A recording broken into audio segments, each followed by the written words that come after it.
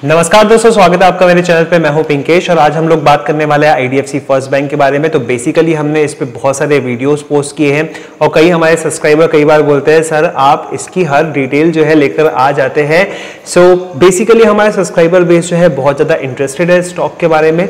काफ़ी अपडेट्स रखता है काफ़ी सारी जानकारी रखता है। तो हर एक चीज़ पर जो है कॉमेंट चाहता है हर एक चीज़ पर उसका थोड़ा बहुत एनालिसिस चाहता है। तो यहाँ पर मैं वीडियोज़ लेकर आता हूँ आपके लिए। तो यहाँ पर हमने फंडामेंटल एनालिसिस शेयर किया किया आपके साथ में quarter three F Y twenty के रिज़ल्ट या फिर वैद्यनाथन जी ने जो अभी स्टेक सेल किया था, वो भी हमने शेयर किया है। साथ ही साथ हम लोगों ने आपको यस बैंक और आईडीएफसी फ़र्स्ट बैंक का कंपैरिजन बताया था और हमारे सब्सक्राइबर्स की डिमांड पे हमने आपको ये भी बताया था कि क्या IDFC First Bank H bank बन सकता है क्या? तो पूरा जो है कैलकुलेशन करके मैंने आपको इस चैनल के अंदर में वीडियो पोस्ट किया था एंड सब पे काफ़ी अच्छे व्यूज़ मिले थे और हर एक वीडियो के साथ में जो है व्यूज़ बढ़ते चले जा रहे हैं। तो I guess this channel is a best channel जहाँ पर आपको आईडीएफसी फ़र्स्ट बैंक के बारे में सब कुछ पता चलता है। ये मैं अपने बारे में नहीं कह रहा हूँ, मेरे सब्सक्राइबर्स के बारे में कह रहा हूँ बिकॉज़ उनकी कमेंट से समझ में आता है कि they are very much keen into this stock and yes आप देख भी रहे हैं कि मैनेजमेंट जो कह रहा है वो कर भी रहा है, लेकिन अगर इसके रिज़ल्ट को देखें तो निराशा होती है और इसके शेयर प्राइस को देखें तो और भी ज़्यादा निराशा होती है। ऐसे में जो लॉन्ग टर्म इन्वेस्टर्स है, कुछ बेसिक चीज़ों पर ध्यान रखते हैं और यहाँ पर उन्होंने एक्सचेंज फाइलिंग की है। आईडीएफसी फ़र्स्ट बैंक ने एक्सचेंज फाइलिंग की है, दो एक्सचेंज फाइलिंग की बात करेंगे, एक 9 अप्रैल की है और एक 10 अप्रैल की है। एक में क्रेडिट रेटिंग है तो दूसरे के अंदर में उन्होंने कुछ फिगर्स डिस्क्लोज किए हैं। रिसेंट में मैंने एक वीडियो पोस्ट किया था एच बैंक का, जहाँ पर उन्होंने एक्सचेंज फाइलिंग के तहत अपने डिपॉजिट्स और अपने एडवांसेस के बारे में बताया था। साथ ही साथ अपने कासा के बारे में भी डिस्क्लोजर्स दिए थे, जो कि अनऑडिटेड थे। तो सिमिलरली यहाँ पर आईडीएफसी फ़र्स्ट बैंक ने भी डिस्क्लोजर्स दिए हैं। तो मुझे लगा कि आप लोगों के सामने इसको लेकर आना चाहिए। बिकॉज़ आपको एक प्लेन वर्ड में मैं आपको बता देता हूँ प्लेन सेंटेंस में आपको बता देता हूँ कि ये फिगर्स काफ़ी अच्छे हैं। लेकिन एक चिंता की बात है जिसके लिए आपको पूरा वीडियो देखना पड़ेगा। So will discuss about the CASA CASA ratio will also discuss some figures which is not available लेकिन क्वार्टर थ्री एफ़ की जो फिगर्स है, वो मैं आपके सामने लेकर आऊँगा। और थोड़ा तो मैं इसके अंदर में अपना ओपिनियन व्यू डालूँगा। यहाँ पे मेरा कोई स्टेक नहीं है पहले ही बता देता हूँ। अगर आपका निवेश करने का एवरेज करने का मूड बनता है तो पूरी रिस्पॉन्सिबिलिटी आपकी है मेरी कोई रिस्पॉन्सिबिलिटी नहीं है। जब दिसंबर में मैंने इसका पहला वीडियो पोस्ट किया था तब मैंने दो क्वार्टर्स यहाँ पे रुकने के लिए बोला था। एंड uh, हो सकता है कुछ लोग रुके होंगे लेकिन still if they are invested तो आज मैं पहले ही बता देता हूँ वीडियो की शुरुआत में बता देता हूँ चिंता की बात नहीं है। लेकिन जो निगेटिव बात है वो तो मैं आखिरी में बताऊँगा दोस्तों। और ऐसा नहीं कि आप पूरा का पूरा फॉरवर्ड करके आखिरी में पहुँच जाएँगे। Okay guys so let's start सबसे पहले मैं यहाँ पे बात करूँगा इनके कासा की। तो देखिए दोस्तों इनका कासा आप लेटेस्ट बड़ा वाला जो है सर्कल यहाँ पे देख रहे हैं। तो 16 करोड़ 16,204 करोड़ का ये कासा है and got improve to 20,758 crore so there is a growth of 28 percent तो क्यू ऑन क्यू बेसिस पर इफ़ यू सी 28 परसेंट का कासा इनका इंप्रूव हुआ है। दैट मीन्स यहाँ पे बैंक की ब्रांचेस बढ़ रही है बैंक की रीच बढ़ रही है कस्टमर्स एड हो रहे हैं। तो यहाँ पे सेविंग अकाउंट ज़्यादा खुल रहे हैं करंट अकाउंट ज़्यादा खुल रहे हैं दोस्तों, आप देख सकते हैं, जब रिलेशनशिप एस्टेब्लिश होता है किसी बैंक के साथ में तो आप वहाँ पे लोन देते हैं तो आप चाहते हैं कि इस पर्टिकुलर बंदे का अकाउंट भी इसी बैंक के अंदर में खुले। तो जैसे ही लोन आता है, उसी बैंक अकाउंट में जाके जमा होता है। एंड वहाँ से लोन के जो ट्रांजेक्शन वगैरह, वो बंदा करेगा, पैसे विड्रॉ करेगा तो यहाँ बैंक में कुछ ना कुछ पैसा रहेगा। ये रिटेल बैंकिंग का मास्टरी ये रिटेल बैंकिंग का मास्टरी वैद्यनाथन जी को पहले से एक्सपीरियंस है आईसीआईसीआई बैंक में वो काम कर चुके हैं, और लोन बांटते समय वो कैपिटल फ़र्स्ट में जैसी ग्रोथ उन्होंने दिखाई थी, वो यहाँ पर जो है पूरा का पूरा काम आ रहा है। यहाँ एक आर्मी बना दी है बिकॉज़ हर एक बंदे का माइंडसेट जो है अभी वैद्यनाथन जी जैसा चलता है। अगर हम लोग बात करते हैं इनके कासा रेशो की तो जी हाँ कासा रेशो इनका, कासा मतलब करंट अकाउंट सेविंग अकाउंट और क्योंकि करंट अकाउंट सेविंग अकाउंट में कुछ ज़्यादा इंटरेस्ट नहीं देना पड़ता है करंट अकाउंट में तो देना ही नहीं पड़ता है सेविंग अकाउंट में तीन से चार परसेंट है दोस्तों। तो ऐसे केस के अंदर में दोस्तों कासा रेशो देखना इंपॉर्टेंट हो जाता है।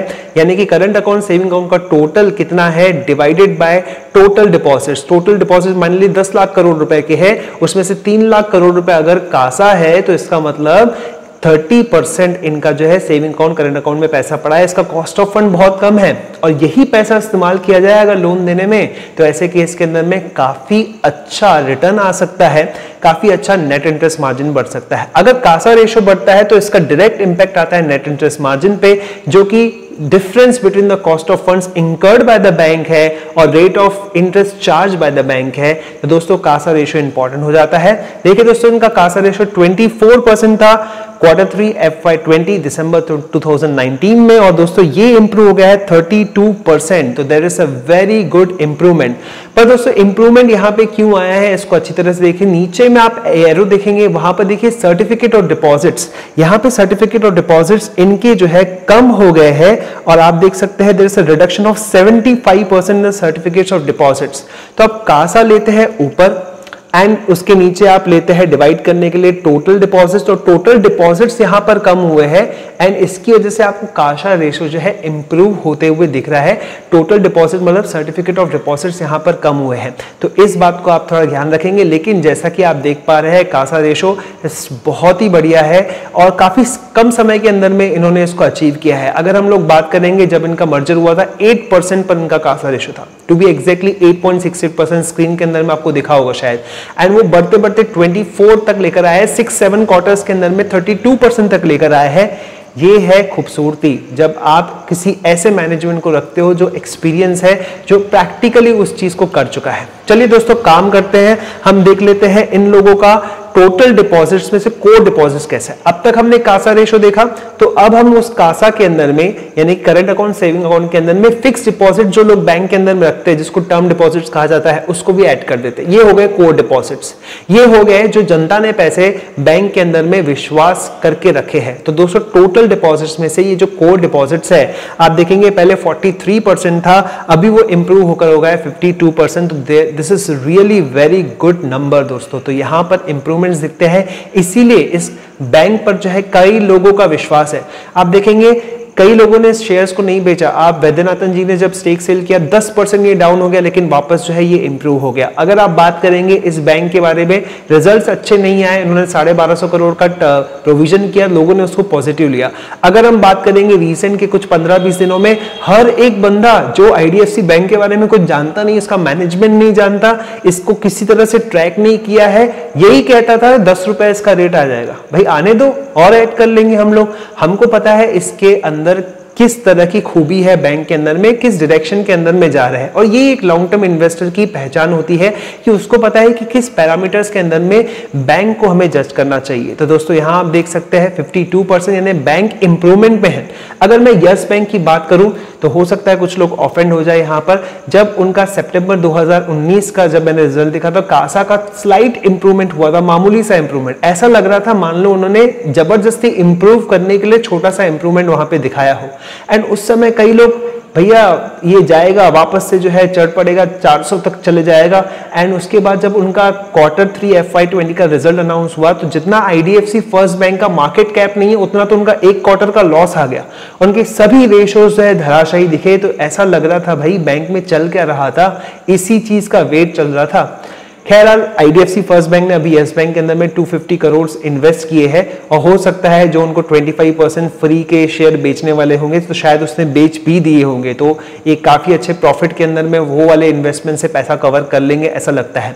अभी साढ़े बारह सौ करोड़ रुपए का जो उन्होंने एक प्रोविज़न किया था क्वार्टर थ्री एफ़ वाई के अंदर में, वो किया था वोडाफोन आइडिया के ऊपर में और ये ज़रूरत नहीं थी करने की बिकॉज़ वो पैसा दे रहे थे। और कुमार मंदन बिरला ने ये कह दिया था कि हो सकता है उनको बिज़नेस फाइंड अप करना पड़े तो ये हो सकता है quarter four F Y twenty के अंदर में वो लोग रिवर्स करें या फिर आधा रिवर्स करें तो यहाँ पर प्रॉफिट की पॉसिबिलिटीज यहाँ पे बढ़ जाती है। दोस्तों तो बात करते हैं कुछ ऐसी फिगर्स जो एक्सचेंज फाइलिंग के अंदर में लेटेस्ट फिगर्स ऑडिटेड फिगर्स हमारे पास में अवेलेबल नहीं है तो क्वार्टर थ्री एफ़ वाई 19 की हम लोग फिगर्स लेते हैं 31 दिसंबर 2019 की। तो दोस्तों, यहाँ पर मैं आपको दिखाना चाहूँगा नेट इंटरेस्ट मार्जिन और दोस्तों, ये लगातार इंप्रूव होते होते आप देखिए 3.86 परसेंट पे पहुँच चुकी है। और दोस्तों, ये बहुत ही अच्छा फिगर है। आप किसी भी एनालिस्ट से बात करेंगे, बड़ी सी बड़ी बैंकों को देखेंगे एच डी एफ़ या फिर एक्सेस तो यहाँ पर आपको ये नेट इंटरेस्ट मार्जिन काफ़ी अच्छा लगेगा 3.86 percent this is the strength of the bank की यहाँ पर, क्योंकि ये लोग रिटेन लोन ज़्यादा दे रहे हैं तो रिटेन लोन पे रेट ऑफ़ इंटरेस्ट से ज़्यादा चार्ज करते हैं और क्योंकि इनकी रेटिंग्स अच्छी है, पहले से ही अच्छी इनकी रेटिंग्स है तो इसकी वजह से इनको कॉस्ट ऑफ़ फंड्स बहुत कम पे मिलते हैं, कासा इंप्रूव होते जाता है तो इनकी नेट इंटरेस्ट मार्जिन बढ़ती चली जाती है। This is a plus point that I want to highlight in every bank analysis मैं इसको हाईलाइट ज़रूर करता हूँ, ये बहुत इंपॉर्टेंट रहता है। अब दोस्तों, हम लोग बात करते हैं इनके जीएनपी और एन एनपीए की तो ये फिगर्स जो है, ये भी पुरानी फिगर्स है, लेकिन आपको जो है रिवाइज हो जाना चाहिए कि इनके जीएनपीए एनएनपीए जो है ज़्यादा है। जीएनपीए आपको इसका देखेगा 2.83 पर, और आप इसका एनएनपीए देखेंगे, यानी कि नेट एनपीए तो ये दिखेगा 1.23 पर। हालाँकि आप देखेंगे कि इसमें आपको नेट एनपीए जो है कम होते हुए दिखा है तो यहाँ पे प्रोविज़न उन्होंने प्रॉपरली किए हैं। तो ये जो है थोड़ा सा जो है नेगेटिव पॉइंट है, लेकिन आप देखेंगे लेगेसी प्रॉब्लम्स यहाँ पे ज़्यादा है। रादर देन जो मैनेजमेंट नया वाला आया है, वैद्यनाथन जी का जो मैनेजमेंट आया है, उसका प्रॉब्लम कम और लेगेसी प्रॉब्लम्स यानी कि आईडीएफसी बैंक का ये प्रॉब्लम ज़्यादा दिखता है, क्योंकि उनका एक्सपोजर था टेलीकॉम के अंदर में या फिर आई के अंदर में तो ये प्रोविज़न करते करते यहाँ पर पहुँचे हैं। अब दोस्तों, इनको मिली लेटेस्ट रेटिंग के बारे में हम लोग देख लेते हैं। तो तीन रेटिंग्स हमारे पास में क्रिसिल की अवेलेबल है। तो दोस्तों, देखते हैं सबसे पहले इनका जो फिक्स डिपॉजिट्स है, वहाँ पर इनको रेटिंग मिली है एफ़ ट्रिपल ए स्टेबल की तो ये उनको असाइन हुई है नई रेटिंग सो वैद्यनाथन जी ने सीएनबीसी में कहा था कि अच्छी रेटिंग मिलेगी और डिस्क्लोज नहीं कर सकते तो बहुत ही शानदार रेटिंग है हाई सेफ्टी वाली रेटिंग है, और दो रेटिंग्स इनकी टीयर टू बॉन्ड्स पर, या फिर हम कहें सर्टिफिकेट और डिपॉजिट्स पर, इसको रीअफर्म किया है क्रिसिल ने ए ए स्टेबल पर ए वन प्लस पर तो ये काफ़ी अच्छी रेटिंग्स है दोस्तों। इतनी प्यारी रेटिंग्स है तो इनको ऑब्वियसली आगे भी फंड्स मिलते रहने वाले हैं।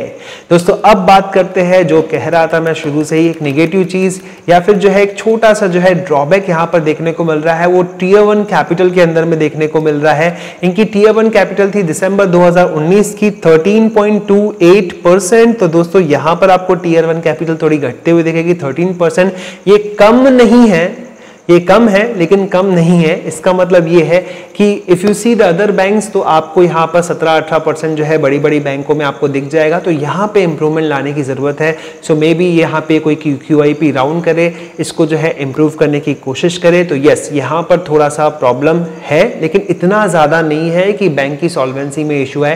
स्टेटरी लिमिट जो है वो नाइन की है। यस बैंक में देखा था, उनके लेटेस्ट जो अच्छे आंकड़े थे, वहाँ पर इलेवन था कहीं पर। तो वहाँ पर आप देखोगे दोस्तों तो उसकी कंपैरिजन में 11 साढ़े ग्यारह परसेंट वहाँ कंफर्टेबल माना जाता था, उसके हिसाब से यहाँ 13 परसेंट है। तो yes this point is little problematic यहाँ पर जो है इंप्रूवमेंट लाने की बहुत ज़्यादा ज़रूरत लगती है।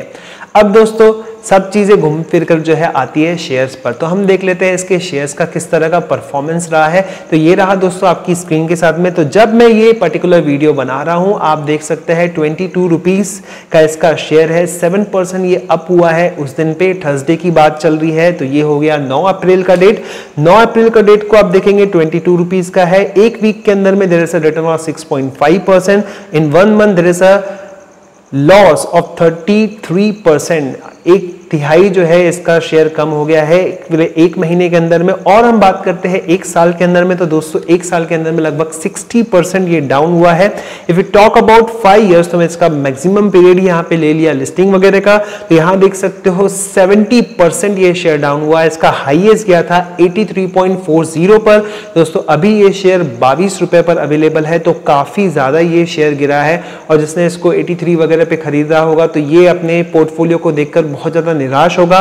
लेकिन दोस्तों फंडामेंटली यहाँ पर हमको लगता है कि बैंक स्ट्रांग है वीक नहीं है। लेकिन कुछ समय जो है अभी आया, जो आप देख रहे हैं, पिछले 22 मार्च से जिस तरह का समय चल रहा है लॉकडाउन का तो बैंक के एनपीएस पर ही असर डालेगा ही। अगर हम बात करते हैं, आगे अप्रैल का महीना पूरा लॉकडाउन है मई में भी हो सकता है लॉकडाउन ये आ जाए तो यहाँ पे बैंक के परफॉर्मेंस पर तो असर डालने वाला है तो ये यहाँ पर नहीं, बल्कि बाकी सभी बैंकों में भी परफॉर्मेंस पर असर डालने वाला है। अच्छा आईडीएफसी फ़र्स्ट बैंक ऐसा क्या कर रही है? दोस्तों, आपको पहले ही पता है कि रिटेल पे फोकस कर रही है कंज्यूमर फाइनेंस पे फोकस कर रही है, जैसे बजाज फाइनेंस करता था तो बजाज फाइनेंस का शेयर आप गिरते हुए दिख रहे हैं।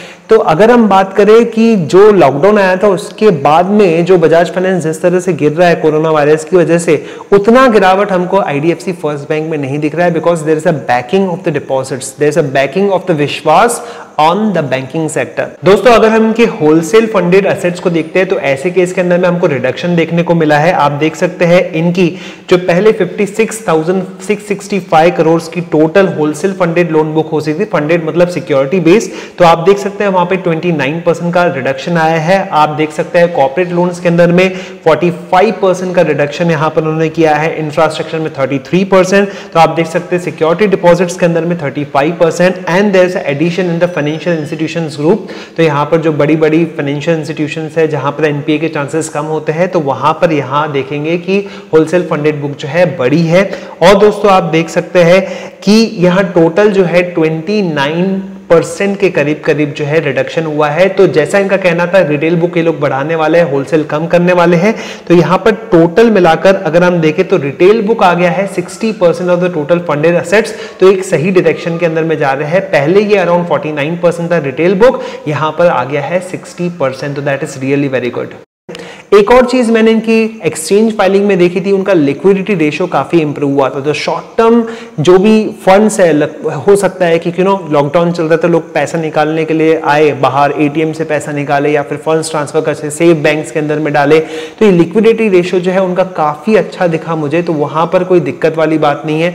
अराउंड एक परसेंट का लिक्विडिटी रेशियो उनका कुछ एक percent I am not sure about how much is the figure वो मुझे अच्छा दिखा। देन इसके बाद में इनका प्रायोरिटी सेक्टर लेंडिंग ये यहाँ पर जो है बायआउट्स जो करते थे, इनका बायआउट्स जो है काफ़ी कम भी हुआ है। तो दैट इज़ अगेन मेरे को जो है काफ़ी अच्छा दिखा दोस्तों। तो यहाँ पर ओवरऑल मुझे तो ये पॉजिटिव लगता है और अगर आप इसके अंदर में निवेश करना चाहते हैं तो कर सकते हैं। डाइवर्सिफिकेशन का प्रिंसिपल आप यहाँ पे फॉलो कीजिए। बाकी जगह पे भी आप निवेश कर रहे होंगे, मुझे ऐसा लगता है। साथ ही साथ आप एस मोड को फॉलो करें थोड़ा थोड़ा करके निवेश करें। हो सकता है कई लोग ऐसे मेंटेलिटी वाले रहते हैं कि भाई एक लाख रुपए पड़ा दो, पूरा एक लाख रुपए डाल दो, अपनी कैश पूरी खत्म खत्म कर दो, बहुत पैसा मिलने वाला है। ओके सो हर एक की अलग अलग स्ट्रेटेजी हो सकती है, मेरी स्ट्रेटेजी वैसी नहीं है तो you have to put the small small amount every month keeping your necessary cash with you and हो सकता है इससे भी अच्छी आपको अपॉर्चुनिटी अगले क्वार्टर में मिले, लेकिन अगर एक दो पॉजिटिव न्यूज़ आना शुरू हो जाती है दोस्तों तो यहाँ पर आपको इंप्रूवमेंट्स काउंटर के अंदर में दिखेंगे। और हो सकता है दोस्तों, कुछ समय के बाद में जब इनके बाकी जो प्रॉब्लम्स है वो ख़त्म हो जाती है या फिर जो है नो गवर्नमेंट की बहुत ज़्यादा रियायत आ जाती है उस सेक्टर के अंदर में इकोनॉमिक रिवाइवल जो है फास्ट तरीके से होने लग जाता है। तो ऐसे केस के अंदर में बेस यहाँ पर बन चुका है फाउंडेशन यहाँ पर बन चुका है, इसका फ़ायदा इस बैंक को ज़रूर होने वाला है। दोस्तों, इसके बारे में आपके भी विचार हो सकते हैं। मैं चाहूँगा कि कमेंट करके आप विचार करें कि किस तरह की और ऑब्जर्वेशन है आपकी आईडीएफसी फ़र्स्ट बैंक के बारे में। वीडियो में कोई चीज़ छोटी है तो अगर आप जो है उसको दर्शाना चाहते हो तो वो भी जो है आप नीचे कॉमेंट करके बता सकते हैं। दोस्तों, इसी तरह के और वीडियोस मैं लाता रहूँगा। मैं बस आपसे ये चाहता हूँ कि आप इस वीडियो को शेयर करें और हमारे सब्सक्राइबर्स काउंट का जो नेक्स्ट चैलेंज है, उसको जो है यू नो पूरा करने में हमारा पूरा सहयोग दे। तो दोस्तों, इसी तरह से आते रहेंगे, मिलते रहेंगे। धन्यवाद।